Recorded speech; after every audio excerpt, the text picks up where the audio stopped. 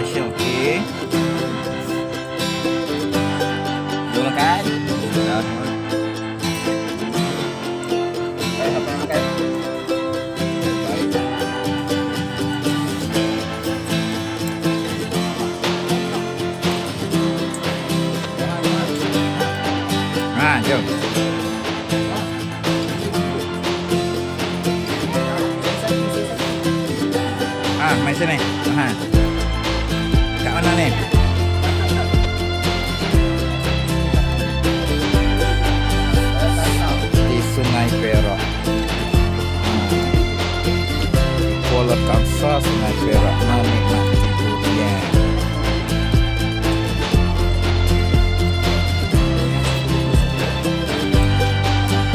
ah, rating apa lagi durian 9 ke